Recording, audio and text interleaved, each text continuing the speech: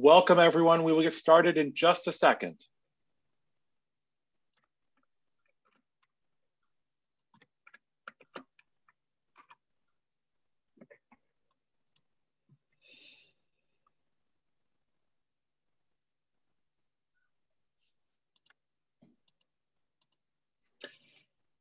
For those who joined us last week, I can't tell you how relieved I am to see you each entering with your own name.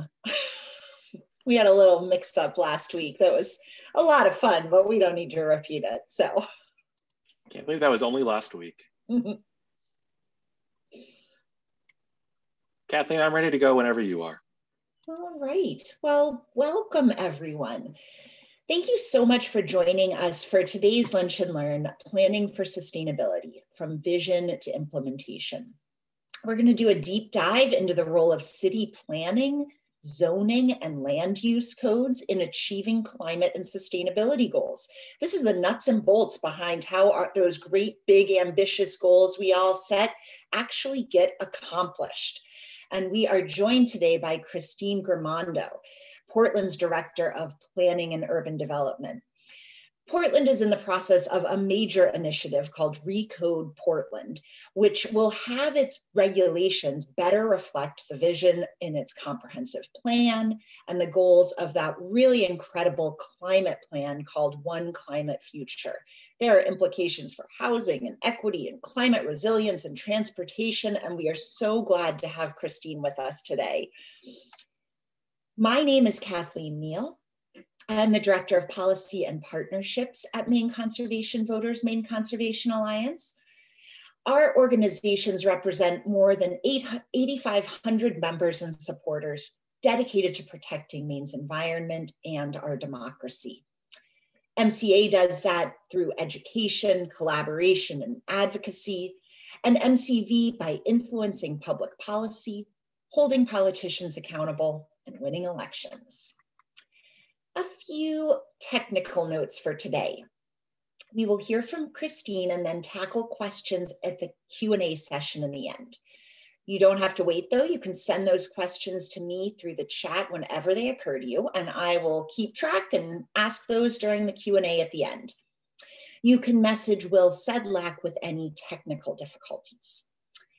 This event is being recorded and the video will be posted on our website later this afternoon, where you can also find recordings of all of our previous Lunch and Learns. Thanks again for joining us. And Christine, I will turn it over to you. Thank you so much uh, for that, Kathleen, and thanks for having me today. Um, I will note that that photo you um, threw up of me, which I which I like, that is um, that was uh, I'd just gotten off a plane and a, a, red eye, and I was standing in Dublin, and uh, back when we traveled, and it was also um, uh, back before uh, Recode started. So I had fewer gray hairs and everything uh, in there too. But that so you gave me like a, a nice memory uh, there. hopefully we're headed there, headed there again in some form soon. So thank you so much. Um, that was a great intro for what I'm going to talk about today. Again, I'm Christine Grimando. I'm Director of Planning and Urban Development for the City of Portland. I've been with the city since 2014. I've been in this role about two years, uh, and I was a senior planner with uh, the department uh, before that. Um, I am going to talk about Recode Portland. It's a multi, multi-year initiative uh, that we are in the middle of. Um, and but before I get into the nitty gritty of Recode Portland, I do want to um, I want to start with our comprehensive plan, which Kathleen mentioned, because uh, it's a critical part of this story and it really kind of uh, sets us up for what we're doing uh, in Recode here. Um, oh, okay, so Portland's plan. Um, one moment. I thought I was, um, excuse me, I thought I was sharing, but I, I wasn't yet. So I will bring it up right now and I'm sorry uh, for the delay. So there we go. That's better. So um, Portland's Plan 2030 is what the city calls uh, its comprehensive plan, which was adopted in 2017, uh, which is still makes it still pretty fresh. It was also uh, a multi-year initiative. Um, and I, I see actually, I see there are some um, planners on the call. So some of this will be familiar, but the folks, uh, for, for, for, those who are new to, to comprehensive plans, um, just, just briefly, it is a, it is grows out, it comes out of a state requirement. It comes out of the state's Growth Management Act. It contains a number of standards to help communities guide growth uh, as well as, as conservation and a number of things, most communities uh, in the state. Uh, of course, communities in this state uh, vary greatly in resources and needs and scale. Uh, and, and the way this comprehensive plan um, requirement is framed actually gives communities a tremendous amount of flexibility uh, and creativity if they, if, they, um, if they want creativity in this for addressing these standards and making it work uh, for the needs of, of each place. Um, so it's a flexible tool in that way uh, to help uh, communities try to kind of set parameters to, to guide their future. Um, and, and it includes requirements for a number of different uh, subjects that everyone has to address in some way. These words on the right, uh, working waterfront, nodes and corridors, these are some of the ways we're talking about uh, these issues in Portland's plan. Uh, the state language you know, has requirements on economy uh, and housing and, and uh, historic resources and, and, sustainability and a number of other things in there. All those things are addressed in our plan. Um, but before we got there, we got we took a huge amount uh, of public input. When I say we, this is actually a process we ran uh, almost all with um, sort of a staff-led uh, initiative. And it was a great opportunity uh, to get into the community and talk to people about what mattered to them. And we did a lot of, we did some regular sorts of meetings uh, in our, in City Hall, um, in, with our council and with our planning board, but we also hit the streets and, uh, and went into neighborhoods, went to First Fridays and farmers markets. And in this case, on this photo, this is students from Casco Bay High. Student events were always my, my favorite. Uh, and we got um, uh, thousands of pieces of, of input uh, through all kinds of sort of creative exercise like this one we're doing here uh, was to get them to imagine uh, the headlines of the future they wish to see. And I have to say that day, their headlines were better than, than our real headlines that day in uh, late 2016. and it was just a heartening event, but we also got we also got wonderful feedback from all quarters of the community. Uh, we wanted to reach people who didn't always, um, who didn't necessarily always participate in this sort of process. We have our regulars, we value our regulars, um, and, and they matter too, people who follow this sort of thing uh, year to year, uh, issue to issue.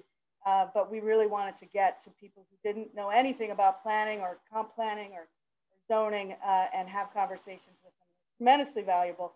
Uh, and it got us a, a, a, great plan. It's about 100 pages on the policy recommendations uh, front. Um, there's some additional info, um, historic background and, and, appendices and things like that. 100 pages of, of recommendations. I've just sampled a few of our sustainability goals um, and, and put these on the slide on the, on the right. Um, but one thing I'll say, because uh, I, I, won't, I won't read from the plan, but I think some of the important takeaways from this document is that the plan really tried to embrace what can cities do well? What, what, what, what about their form? What about when they're functioning uh, at their best um, can be harnessed? Things like, can we make it easier not to drive? Can we make it, uh, can we build and develop this city uh, in a way that um, supports uh, land use and transportation policies in a, in a really sort of synergistic way. Um, and, uh, and, and, there's a big sort of focus on, on energy efficiency, on transportation networks, on, on um, land use and how, how and where housing occurs, among other things uh, as well. Um, there's a vision uh, set of circles on the left of this slide. This is a synthesis of uh, our vision statement. And these are things that, um, these are principles that cut across all of the sections of this document. Um, so there's an economy section, as I said, and a housing section and all these things. This vision statement is meant to say, um, as, we're, as we're considering new policy, as we're investing in this place, we should be also considering these high level goals around sustainability and connectivity and, and, and equity and these things that kind of cut across uh, these different subjects uh, in, a, in a holistic way. And this vision has been tremendously important as we move into RECODE, as are the individual recommendations uh, that came out of the many um, chapters of the plan. Uh, a little bit more on, the, on uh, Portland's plan. Uh, this is a map that shows what some priority areas for that we think could accommodate um, more growth. It aligns with our transportation network as it is at the moment. Um, there's a kindred plan uh, map that also shows where our priority open spaces are and where our uh, trail connection improvement priorities are and, and, things like that. This is, this is one sample of this framework and the lens uh, that we've brought to some of these housing and mix of uses and, as well as open space. Again, the goal of the, of the comp plan is really uh, to guide growth, including guiding conservation uh, and, and as sort of the flip side of that kind of rubric of thinking about how we, how we change what we preserve as well. So that is all lead into why Recode, what is Recode? Um, our Recode is, I said, a multi-year initiative um, to, to evaluate our land use code. Land use code is not um, the most common term because it's a term we use as kind of an umbrella name for a number of things, a number of types of regulations that we, uh, that we bundle together. And I'll talk a little bit um, more about these now. It's a tremendously important document um, that is not about vision, it's about, um, it's about uh, the regulations that ideally should flow out of that vision and flow out of that comprehensive planning process to help us achieve uh, our ends. And it's more granular, it's more technical.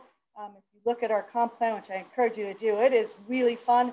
Uh, I think our land use code is fun. I don't know if everyone would call it that. It's not a beach read uh, necessarily, but it is. Um, it's a very compelling document with implications for the physical city and, and um, the, the, urban fabric uh, of this place. We have had a, a, a land use code uh, and attendant regulations, zoning regulations uh, for a long time. We've had zoning since the 20s. Um, the last time this document was fully redone was, was Sputnik was happening. Um, a lot has changed then, since then. I'm sure we were also talking about some of the same things uh, in uh, over 50 years ago, but, um, but, but it's a different city, it's a different world, and it really warrants a, a holistic look. Um, that said, this has not been um, a static document. It's a document that we have engaged with uh, and amended many, many times over the years, probably dozens and dozens of times um, year to year to keep it up to date. And so the end result of that um, is that uh, our land use code was, it was um, about a thousand pages. Uh, it, it contained a, a good deal of, of good planning practice, of best practice, of progressive new ideas uh, that had gone on, got, been sort of layered in over the years. It also contained some redundancies, some inconsistencies, some really dated things, uh, really because it had not been um, holistically looked at, but had been sort of appended uh, for so long. And so Recode intends, um, first of all, to create a more sensible document, to take that thousand page, uh, somewhat dated document and blow it up and put it back together again. We actually just finished that, what we call phase one, which took uh, that, that, um, that beast of a document and, and made it um, more accessible and leaner and more consistent, a little more visible. Um, and the code itself includes all these things, includes our zoning regulations. Zoning for folks not uh, familiar with that is where it's how we say um, what can happen and where. Where can certain uses happen? Where can, where can industry take place? Where can your housing take place? To what intensity? Uh, to what urban form and design and things like that. It's also our environmental regulations. It's also where we look at stormwater, housing policy, historic preservation, public art, uh, a whole lot of other things that, that, um, that relate to each other um, are in this document. So we, I mentioned we um, redoing it um, in a couple of phases. So the restructuring has happened. We just implemented uh, phase one. Um, it went into effect uh, December 2020, so it's really fresh. Um, but the big project now, phase two, is to look at our code's policy and see how it aligns with the goals of our comprehensive plan. Where are we falling short? Where, if we continue to build in the patterns we're building, um, will we diverge with what we think we are, what we think our values are? And so that is really the crux of what we're doing right now uh, in phase two. I mentioned restructuring. I just wanted to show, uh, I have actually never printed out our new code, but if you were to, the one on the top is that much smaller document. Uh, we like to throw this up to show how much um, dead weight we dropped uh, out of the code coming out of phase one.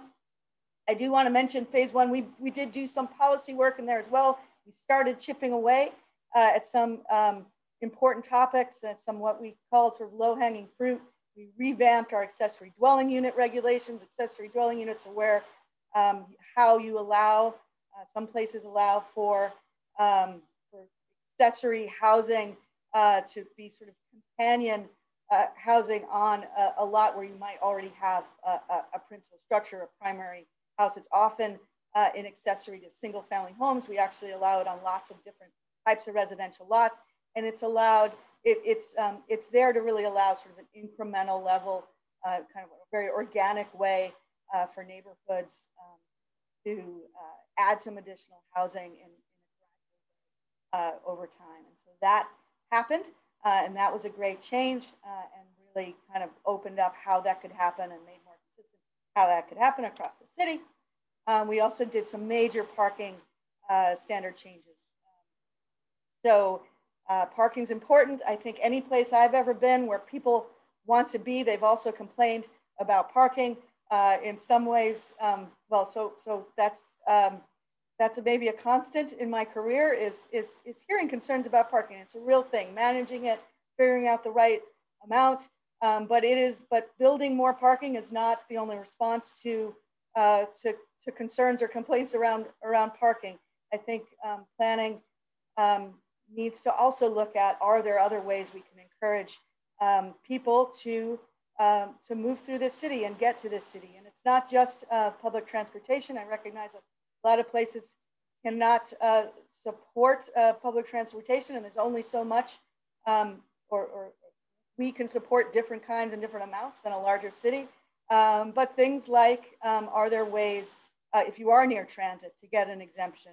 Uh, if you are um, near, um, if you do anticipate uh, shared vehicle provisions or, or more biking uh, because of your location or, or what you're sort of co-located next to, um, there are abilities to, to, kind of waive out of some of these things and free up, um, potentially free up pavement to not be pavement or pavement to be used for something that provides us other value, like uh, like additional housing and potentially lower cost housing as well, because we've take, taken some of that cost away if if uh, to build. Um, EV charging provisions is, was also part of the uh, changes we recently uh, put in to require certain infrastructure go in uh, for projects of certain scale. So we did a we did a, a robust look at parking um, to try to um, encourage other things and, and waivers where appropriate uh, and try to start uh, shifting that conversation a little bit more to alternatives as well. Um, so now we're in phase two, and phase two of Recode is evaluating this code. I think the heart of the part of phase two is really looking at um, our zones. Again, our zones are what um, really kind of prescribe uh, what sort of buildings and development and other associated infrastructure, whether it's stormwater or street trees or lighting or where and how they occur. Uh, and we're looking at that code through a strong equity lens, through a strong climate resiliency lens and doing in the middle of a code audit um, to see if there are gaps and places we should be um, looking or doing better or, or, or making changes. Um, and that audit should be done. Um, we've started thinking about this, of course, but we, expect to have an audit in hand um, sometime this month. Uh, I put the color of law there on the left. Um, that is a book uh, that got a lot of um, discussion in the last year. Uh, it's a great book, and it's on a topic. Um, it's a, it's about how policies and zoning and, and lending practices and other things really have contributed uh, to a legacy of segregation uh, in this country along, along race lines, also along class lines as well, um, and, uh, and how that informed early zoning codes. Uh, we've done a lot since our early zoning was first put into place, but it's still a salient uh, question to look at. Uh, are there places, are there legacies of those, um, of that history that's still in our code, or even that uh, sort of earlier establishment of our, uh, of our zoning regulations uh, aside, in addition to looking what's back, looking forward, is there anything there now that we think from an equity perspective is presenting challenges is presenting barriers to people um, that we can remove uh, for, uh, for a more, um, that is also uh, part of the lens too. The graphic on the right, that's also in our comprehensive plan. It has another um, rendering of that, that vision I keep uh, mentioning and throwing up on the screen. And this graphic is really to show um, one of the ways we like to think about how to use a comprehensive plan. And it is our highest level sort of uh, 10,000 feet level uh, document, and other things will flow out of that. It informs a lot of the other work we do, including, um, including the code I'm talking about today, but including that um, One Climate Future work um, that we're doing as well with South Portland. Uh, it, the, the, the, comprehensive plan, it's, um, it's comprehensive in a sense, but it's more breadth than depth. It's not a deep dive on anything and certain things need deeper dives. And so the climate work we're doing is really kind of building on some of the climate resiliency recommendations in Portland's plan and, and, and amplifying and, and giving us uh, that robust uh, process that's also going to inform uh, process. I just can't, as a planner, I sort of can't not um, uh, sort of revel in these zoning maps because I'm mentioning we, we are evaluating our zoning. There's, uh, it, there's an element of that that involves looking back, as I mentioned, through our history. How did the patterns that we see now, as many changes have been made over the decades, when were they set? How are they set? How much are we sort of following a path uh, laid out in the 20s? Uh, and there's great paths that were laid out in the 20s in terms of our street network and, and before uh, our 19th century city too. It's a, it's, it's a great template uh, in many ways, um, but it still, it still um, is informative uh, it's, it's fascinating to look at sort of where, um, what happened post-war uh, to, our, to our neighborhood patterns uh, and, and how we've grown uh, since. So we're, we're in a process of looking through the historic city and how it got us to that colorful and sort of messy map on the right, which is one of the things we'll be looking at. Do these zones, those are our zones, each color is a zone that, um, again, prescribes what can happen in any area of the city do they make sense, both in their boundaries and their content? Can any of them can be combined? Are all of them working? Are they doing things we want them to do uh, from a housing, from a landscaping, from stormwater, perspective, any number of things, uh, other uses, things like that, uh, that we're looking at. I mentioned uh, One Climate Future, uh, and I wanted to just give it a more formal nod as well. This is a process, um, the, the plan that's um, it didn't actually, was not managed out of the planning department, but we worked closely with our sustainability coordinator, sustainability office on this. Um, and uh, it, of course, it's a joint project with South Portland. We haven't done much of uh, that. Uh, I think it's been fabulous to, um, to talk about these things uh, sort of across the municipalities uh, and, and with a uh, sort of wider lens and, and a certain extent a regional lens and look at what we can do, be doing from a buildings and energy and transportation and, and land use uh, perspective as well. That project recently wrapped as well and is already informing how we're looking at uh, implementing two. Um, again, I wanted to sort of again, get into that, that granular piece uh, of actually looking at our, our code, um, which is at the end of the day, uh, um, you know, a regulatory document that we really need uh, to dig into. So looking at our maps, I, I, gave the sort of overall city maps.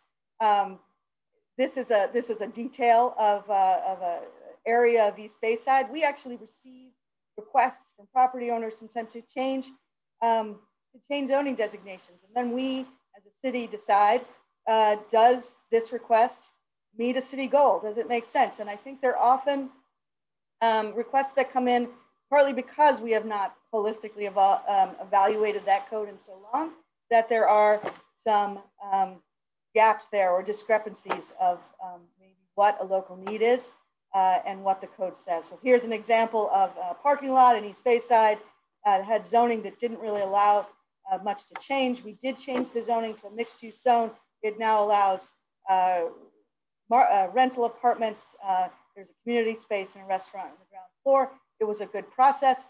Um, that came through as an individual application, but generally we're hoping to do this um, again citywide, uh, take a lens to the entire map and say where can we anticipate where this needs to be.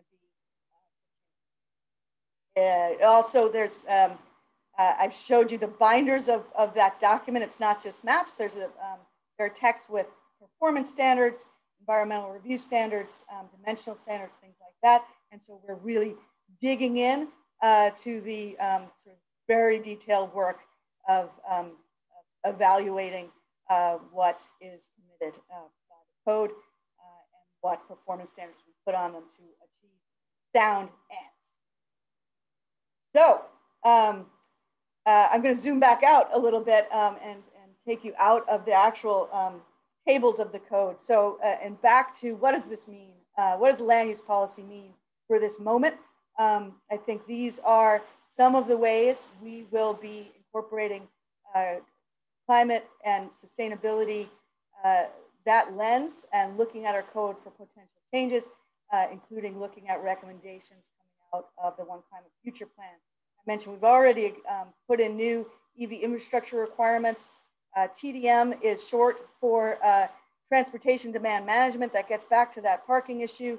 Are we asking um, uh, developers, particularly large scale new developments, um, not just for adequate parking, but uh, a demonstration for again, things of a certain scale. Not everyone has to do this. A demonstration that they are investing in ways to get people to and from uh, their site and, and on our city streets in different ways, um, whether that's shuttles uh, or transportation investments uh, or ride shares or, or bike infrastructure investments and things like that. Um, that is um, something we're working on strengthening all the time is what are we asking for for TDM uh, that, that, that will be uh, robust to see us into the next decade or so. Housing that is efficient and affordable. I think housing is such an important issue uh, from so many facets uh, in the city and in the state. I was just reading about new studies that just landed about national housing issues from affordability and supply uh, perspective. Um, it's so important um, but where housing is uh, and what form it takes uh, has everything, I think, to do with that sort of transportation, land use, sustainability linkage um, and how we're coordinating those two. Are we putting density and energy efficient multifamily housing in places it needs to be so people can access their work and access transit? And if they're not getting on transit, can still do enough uh, on foot, on bike, and uh, in, uh, in their neighborhoods um, to meet their needs. And we have another principle that's in that uh, comprehensive plan is we talk a lot about complete neighborhoods. Every city, uh, neighborhood in the city have um, the amenities and the resources to be what we call uh, complete neighborhoods. That doesn't mean we expect every neighborhood in the city to look alike, to function alike, to be um, of the exact same intensity or anything like that. Um, there's a place for, for different kinds of contexts, but that, that every place should have uh, a certain amount of clustering of things they need to not make uh, it necessary to drive everywhere uh, for everything or um, cut people off from things they need. Um, housing leads right into uh, TOD, which is transit-oriented development. Um, and again, lining up that transportation and land use uh, part um, just uh, to be able to shift people over to different ways uh, of moving around and, um, of course, coastal city in a coastal state with rising seas, uh, we are talking a lot about uh, coastal resiliency, and I think there's actually still a lot for us uh, to do here. uh, in the coming year with, with uh, Recode Phase 2 and also outside of Recode and in, uh, in building codes and in other places that we deal with city infrastructure and private infrastructure too. Um, there's an equity lens to thinking about resiliency as well when we look at areas where we know there's going to be um, anticipated increases in inundation and things like that, who, um, who's most likely to be affected by that in terms of um, vulnerable communities um, and things like that. Questions we're trying to layer upon each other as we, uh, did do some early consideration of um, on our waterfront, allowing for raised first floors for floodproof additional floodproofing, things like that. Um, and I think it was a little premature for where our community was. It involved allowing buildings to actually be a little taller, which is always a sensitive topic. If, if that height that was gained was um, explicitly to allow for a more resilient ground floor, um, I think at that point, it really, that topic really, really clear to us, benefited from uh, the, our climate plan to be done and be sort of bundled into, again, a holistic picture of how are we approaching this um, and what, what are our priority actions going forward on sea level rise and coastal resilience. I think that takes me to the end. Um, so thank you so much. I encourage you to check out our Recode Portland site. Um, it also ties into our comp plan and there's some great explorations of those early zoning maps, um, other ways we're addressing direct connections to how are we gonna implement our new climate plan uh, and other things as well. There's an interactive um, complete neighborhoods uh, link as well, where you, if you live in Portland or if you're just curious, can zoom in on different areas and see where, what would you have access to if you were to be dropped uh, in Woodfords Corner uh, as far as resources and walkability and things like that that we just built. Um, and it's really fun, I think. Uh, so please take a look. Thank you so much. Glad to uh, take questions or talk. Thank you so much, Christine. And I, I love that. I can't wait to explore all of those, those resources. And just so everybody knows, we will include a link to Recode Portland in the follow-up email later this afternoon. Uh, if, like me, you do not live in Portland and you're wondering what planning looks like at your local level, uh, I encourage you to, to find out. Your town website or town office uh, should be able to direct you to the, the local planning board and attend a meeting, see what it's like. But we'll also ask Christine some questions about, it might give us some insight into to planning across the state. Uh, so I guess the first question, Christine, is do, do all Maine cities and towns have comprehensive plans? Is it required? That's a great question. I, um, I qualified that a little bit. I started talking about state requirements. It is not, um, uh, it's, a, it's a slightly complicated answer. It is required if you're a community with zoning in this state, just to get just to get wonky for a, for a second. If, if you're a community with zoning, you need to have your zoning, uh, as well as some other things. Uh, there's an infrastructure and, and investment component. Primarily, there's this really strong link between zoning and comprehensive planning and that State Growth Management Act that they need to be consistent. So a comprehensive plan, having the state say your comprehensive plan is consistent with the Growth Management Act, and then having your zoning be consistent with your with your comp plan means um, means that you've you've done that work. So it is possible to not have a comprehensive plan, but then the question there's a you're you're sort of on your back foot as a community uh, in sort of demonstrating you are meeting those standards. Comprehensive plan kind of front loads these big questions of this is how we're planning uh, for growth, for conservation, these sorts of things. It front loads all those things. Most communities in this state uh, have one. Uh, they take refreshing every so often. I think it's 12 years, uh, and that and they take work. Uh, and so I think there's probably some that aren't quite fresh, uh, and some that are. And there's probably a couple of gaps out there. It doesn't mean you're immediately sort of shut down as an operation if you don't have one, but it's um, uh, but it's important and it's important for, again, most places do have zoning in the state with some exceptions, uh, exceptions probably, and I think you find most of them have it. And there is kind of a basis in state law that you would be if called or if questioned, if a community is questioned uh, on certain things, the question of, well, are you, are you meeting these standards would be met and a comp plan helps you answer them in advance. Okay, that, that makes sense. And of course, you, as you said, it takes resources, right? It takes work, it takes staff capacity. Uh, many of us remember that there used to be a state planning office, which I'm going to guess offered support on some of that. Is that true? And what happened to that support?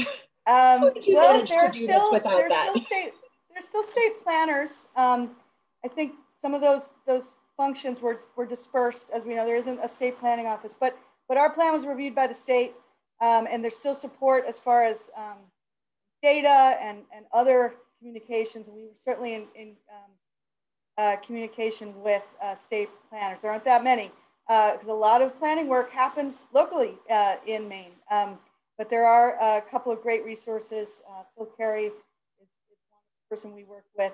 I'll also say, obviously, not all um, communities have equal uh, resources or ability to do this.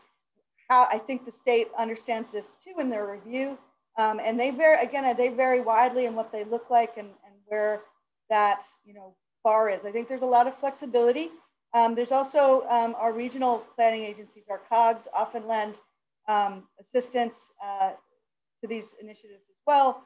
Um, there are consultants who do this. Uh, so there's different ways that communities can address it uh, or patch together resources they need. I mentioned we did it largely staff run. That's a different kind of research. We didn't pay $300,000 for a comp. I mean, that's a big number, but um, we didn't pay a huge amount for a comp plan. We, I, um, it, I spent a couple years on it, and I and I brought a lot of other people uh, to the table, uh, which was wonderful. But I even even here we can't always do that uh, to have that sort of available staff resources uh, to do it. But in our case, it wasn't just uh, let's let's.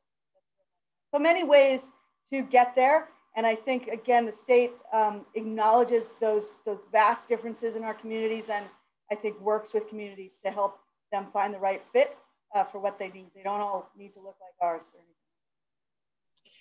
Yeah, and in fact, that that makes sense, right? That a, a town, a city or town's comprehensive plan should really reflect the the that city or town. And I loved that picture of the the Casco Bay High kids just imagining the, the headlines from the Portland of the future and, and what do we need to get there. Uh, and I also appreciate that it can be can be tough sometimes to get new voices into to these conversations.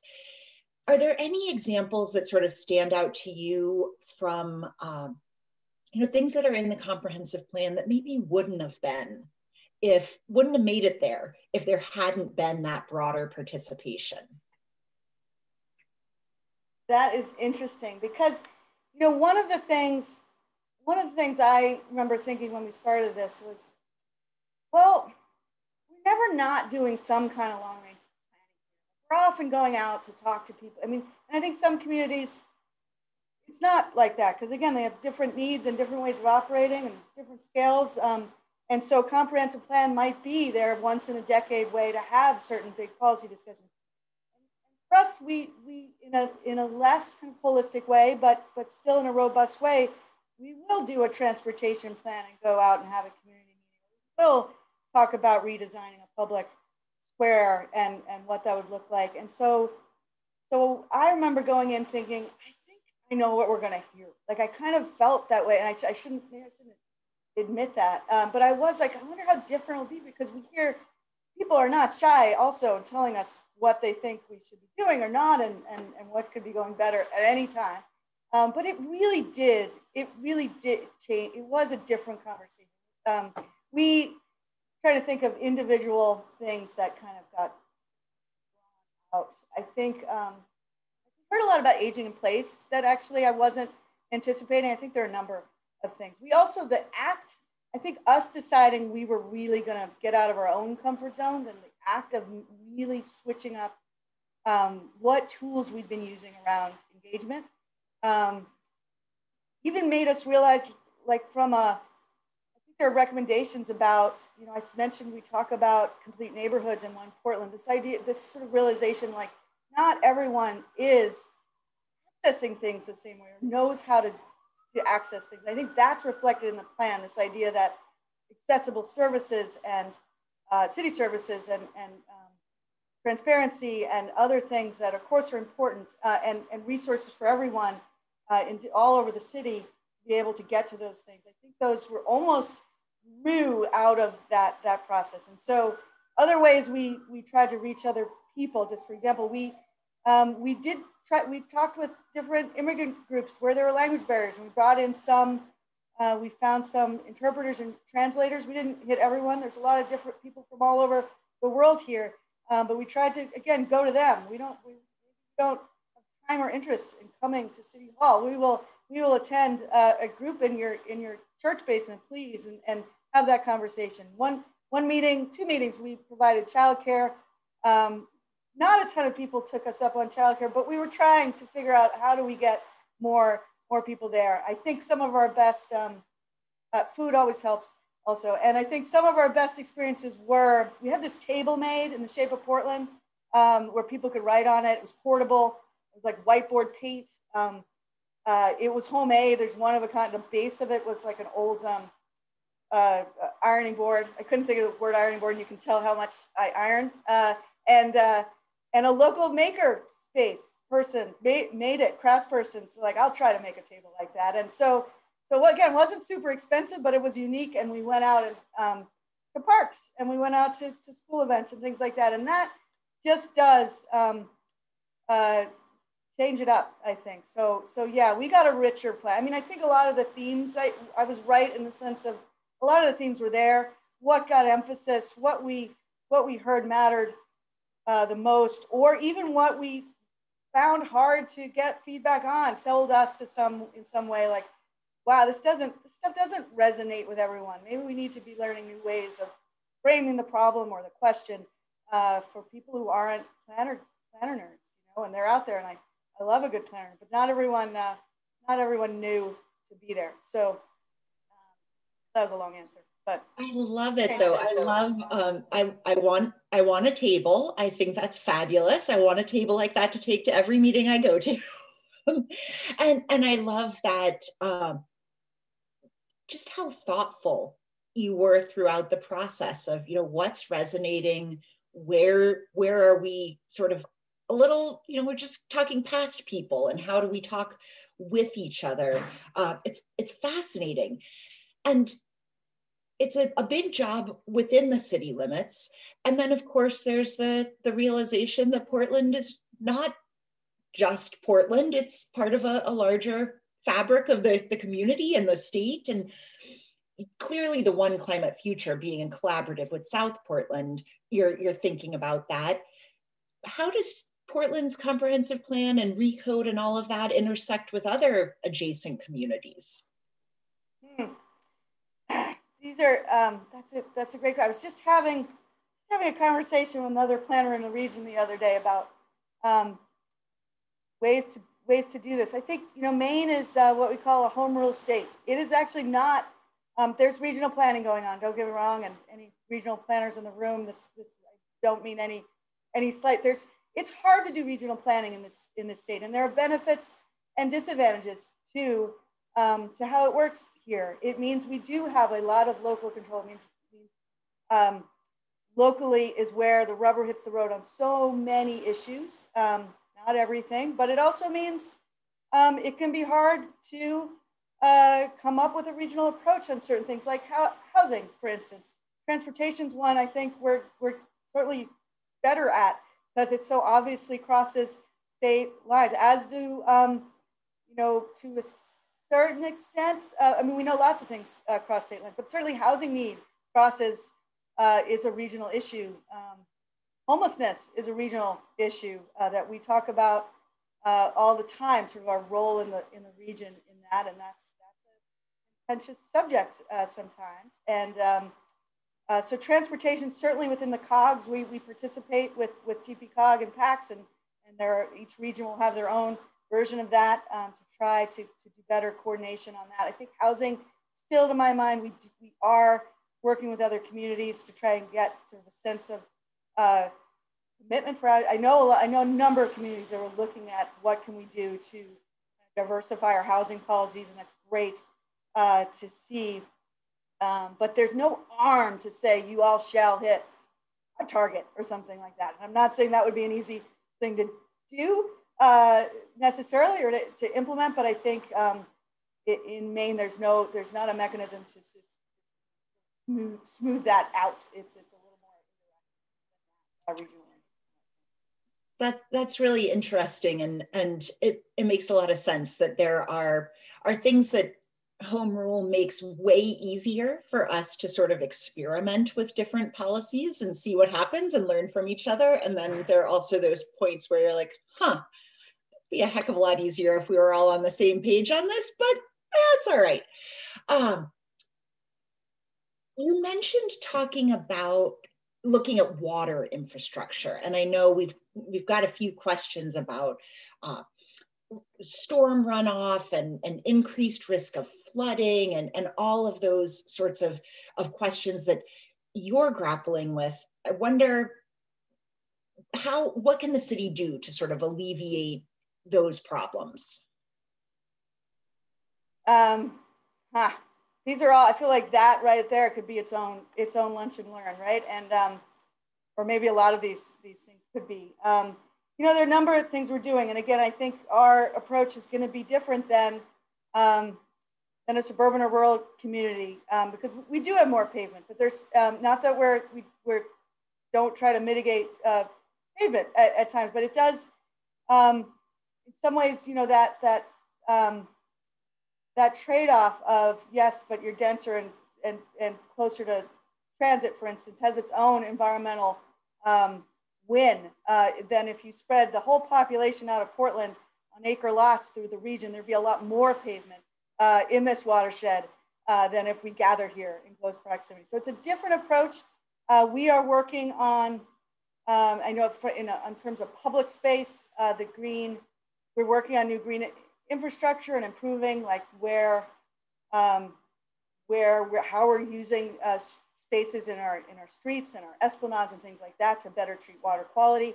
We're also undergoing some major um, subsurface water infrastructure project. If you've been to uh, Portland anytime recently, it's hard to drive around right now. Uh, Back Cove is all torn up. That is um, Back Cove being a water body, but also a path and a, and a neighborhood and all the and, and streets we travel regularly. Uh, it is all torn up because um, there is going to be water quality improvements at the end. This is, this is, stuff you'll never see when it's all put back together. Uh, and, and that's good. Those are slow, expensive things. That's been in the works for years. Um, but that's a big thing. And then there's little things like, can we, yeah, can we make this, uh, uh, this sidewalk esplanade do better with retaining water? Uh, could we have better green roof standards where we have them? We have one zone, have them uh, in, uh, in a variety of, of things. I think there's a, a, a patchwork of, of approaches there. But um, always, uh, it's a it's a real it's a live issue, and it's a really important one, both from a quantity and quality uh, perspective. What what are we going to do with water, um, especially as as as climate change is more more volatile uh, too. So we're I don't have the the end answer on that. I have some of the things we're doing, but we all know there's there's there's a lot more to be talking about there as far as keeping up with this changing planet and changing. The other thing mm-hmm. I'd add, um, again, to sort of get get sort of granular from the regulatory perspective, um, but it's it's important. This is one way we've addressed this. Um, we recently adopted uh, impact fee ordinance, uh, and the impact you know impact fee ordinance was a way to get more systematic about uh, what as new development comes online, what is how do we support infrastructure to support that or build up infrastructure to support that growth? And there was kind of a, a ad hoc way of doing some of that work with say individual transportation uh, impacts of a project, for instance, and we figure out where the impacts were and figure out a number and improvement what, what the improvement would be. We, did, we implemented an impact fee system to, uh, that goes into three buckets. One is for um, transportation improvements, one is for uh, parks and recreation improvements and green space improvements, and another is for wastewater uh, and stormwater improvements as well. Uh, so again, those are um, things you don't always directly see, uh, but that long term we're probably we're probably overdue for that for that tool. Um, but it's a great tool to start sort of building up uh, capacity of we, can't just not be planning uh, for growth and, and what it what it does to our infrastructure. That's a till we're slowly growing uh, to help us with stormwater. That's fabulous. And and Christine, this next question makes me very conscious of how uh, just expansive your work is. It feels like everything under the sun is probably your responsibility. So thank you very much.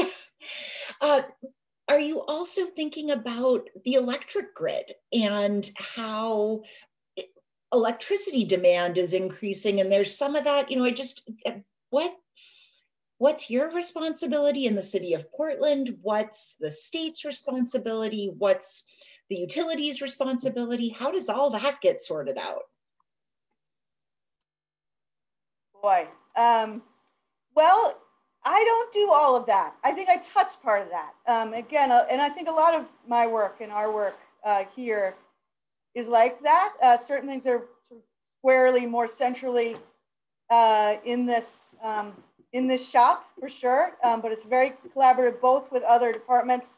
Public Works is, is really important partners of ours, as well as other uh, government agencies too. And so I think utilities is one of those. So one of the ways we would address that, um, we are, we from a new development perspective or and a zoning perspective, uh, we, uh, and we we're always looking at ways we can improve this too, but we certainly, we have certain um, ways we approach alternative energy and solar and other things to allow, to sort of work them in uh, and, and to our context here and allow them to have that to happen. Uh, so that's one part of that uh, picture. Uh, but that's a sort of a small increment. Again, that's getting to locally. What, how do we address it uh, uh, locally, like project by project? And that's not the whole big picture, but um, but I think incrementally helps uh, that along.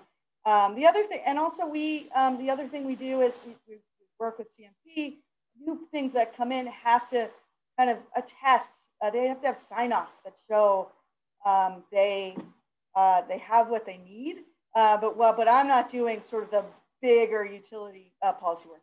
But we touch it for sure. It all sort of everything connects at some I love that. It, just feels like there's so much exciting and cool work that you get to do and and knowing that some of it ends up being um, invisible at the end is is kind of an interesting twist there where do you where do you get inspiration? Who whose work are you looking at, either in Maine or around the country, around the world? Like, where are you? What cities and towns are you looking at and saying, "Yep, that's where that's where Portland's headed," or "That's what I want to learn from"? Yeah, that's a fun that's a fun question. I so first of all, we I love poaching good ideas. Like I am not shy at. Um, I mean, I think we regularly look at other communities around the world. Where what not that anything is just sort of simple fit you lay it on here and it works. There's always a question of what does that mean here?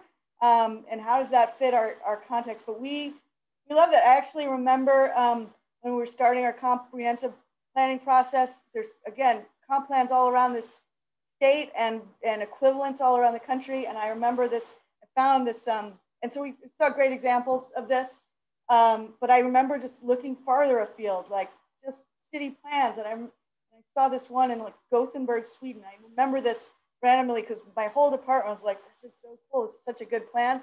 And then I met someone the other day from Gothenburg. I don't know if I'm even pronouncing Gothenburg correctly. Like great downtown plan. It was, you know, it was years ago uh, now. Um, but that said, I think planners, um, I think they're actually very generous. Uh, we pick up the phone and talk to our compatriots uh, regularly. Um, and I have, in, certainly in the case of Recode, I have had great conversations with other communities. Who, I mean, this whole nation is full of dated, ornate uh, codes, and uh, in various places with addressing this, this issue. In some places, maybe it just works and will keep working, but a lot of communities are looking at can we can we get into the 21st century here? Um, and we, I've had great calls with our, our colleague, actually our near colleagues down in Somerville, who we talk to a lot, and Austin, Norfolk, Virginia has actually a great uh, plan in regards to climate and, and um, uh, climate resiliency. They have wonderful standards built into the code, and we've had long talks with them. And so, uh, so there's a lot of that. I would just also say, like, where do you find inspiration? I, um, I think as a core issue, I still find it exciting. I walk past, um, uh, and sometimes, you know, everyone needs to be reminded of what excites them in their work sometimes. Uh, and I still uh, have books I love about this on my shelf that I'm looking at right now. I still, it still gets me uh, as important and, and good. I walked past my one of our conference rooms the other day. We're now back in the office, which is its own strange good thing. Uh, and my colleagues had like old school like maps and tracing paper and markers out. And I was, what, what is this? And, and they were doing like a, their own exercise, a la recode of where, where, where does there seem to be patterns of groupings that don't necessarily, like they were just doing this thing with markers and maps. And I thought, that's, this is such a great group of enthusiastic people who still thinks that's, who gets why that's interesting and thinks it's fun. And, and my colleagues help, I think, because I have, I am fortunate enough to have this amazing group of people who likes to, who like uh, to talk about um, maps and zoning and flooding and everything else with me. And I think I take inspiration from them all the time. well, you are inspiring me. I feel like I haven't stopped smiling this whole conversation because it's just so uh, so exciting to hear your enthusiasm and the, the work that's being done. I love this idea of a, a, network of planners across the country and across the world who are sharing good ideas and being generous with each other and, and ultimately with all of us. Uh, so thank you, Christine. I would love your book recommendations because I want to get more, I want to know more about planning now. Uh, and I'm just so grateful to you for, for joining us today. I'll let everybody in a little bit behind the scenes and say, uh, several of us at, at, MCV had the opportunity to meet with a, a, group of folks from Portland city government. And by the end of the conversation, we said, oh, we got to get Christine for a lunch and learn. So thank you for humoring us. It has been a, a just wonderful conversation. Thanks to everybody for joining. And, and as always, for your excellent questions and, uh, and for, for spending part of your day with us. You will Thank get you so much you will get an email from us later this afternoon, everybody, with a, a link to Recode and uh, some ideas about how to follow up. You'll also have a link to sign up for next week's Lunch and Learn, which is understanding fisheries, conflict, and coexistence with offshore wind energy. This is something that has been in the news quite a bit lately. And I know many of us are wondering how wind energy will affect current and future use of ocean space, including for fishing. So Dr. Alison Bates, who is an assistant professor of environmental studies at Colby College, will join us to share how scientists and policymakers are, are figuring this out. So there are lots of, of interesting challenges and tons of opportunities ahead. I hope you'll join us to explore those next week. Thank you Christine, thank you everyone. Have a beautiful weekend.